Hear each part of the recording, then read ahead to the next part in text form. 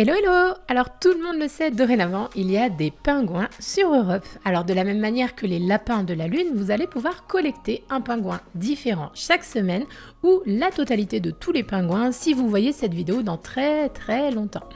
Alors ce pingouin, il faut le savoir, vous allez pouvoir le placer dans une salle qui se trouve à proximité de Varix. On va le voir à la fin de cette vidéo.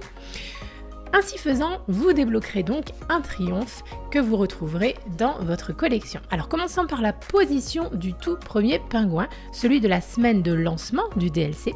Il va vous falloir atterrir dans la zone de Varix, aka la croisée de Caron, et vous rendre jusqu'à la plaine de la crête de Cadmus. Alors le pingouin, il va se trouver vraiment à l'entrée euh, de la plaine, directement sur votre droite, à l'endroit précis où se trouve une petite cave dans laquelle sommeille une sublime wyvern de mémoire, c'est d'ailleurs également dans cette zone que vous pouvez trouver un coffre doré de la zone si ma mémoire est bonne.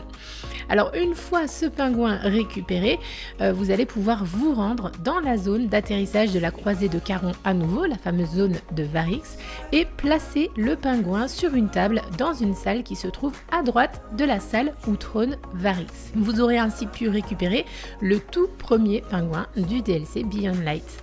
Et voilà, c'est déjà terminé. J'espère que vous aurez kiffé cette petite astuce. Je vous souhaite une bonne journée, profitez bien, geekez bien et à très bientôt. Ciao